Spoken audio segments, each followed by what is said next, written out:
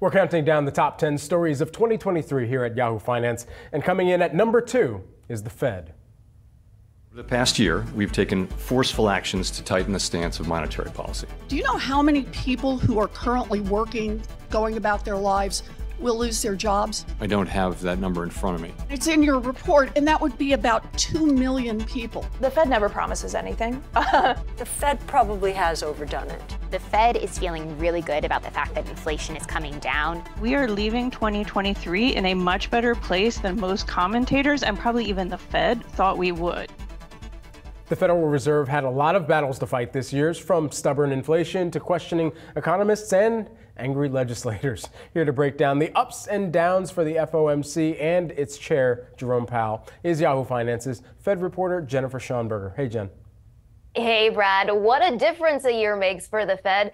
The central bank began 2023 slowing the pace of its most aggressive rate hiking campaign to cool inflation since the 1980s.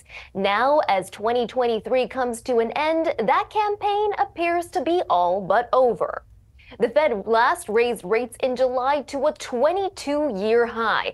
But after holding rates steady for their third consecutive meeting this month, Fed officials predicted they would likely cut rates three times in 2024. The reason? Inflation is falling closer and closer to the Fed's target of 2%. Even Fed Chair Jay Powell, after months of sounding hawkish, turned slightly dovish at his last press conference of the year. Take a listen. You see that people are not writing down rate hikes. That's, that's us thinking that we have done enough, but not, not feeling that really strongly confidently and not wanting to take the possibility of a rate hike off the table. Nonetheless, it's not the ba base case anymore. This pivot was months in the making. Fed officials warned for much of the second half of the year that they would need to see further progress that inflation was coming down before they could stop raising rates. Powell himself offered several warnings. At uh, last year's Jackson Hole Symposium, I delivered a brief, direct message.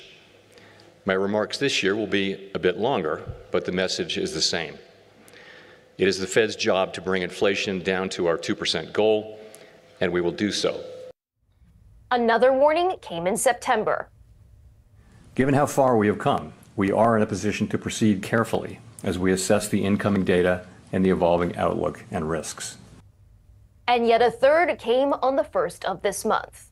It would be premature to conclude with confidence that we have achieved a sufficiently restrictive stance or to speculate on po when policy might ease. The shift that happened this week took many by surprise. It comes after several data points show inflation continues to drop slowly.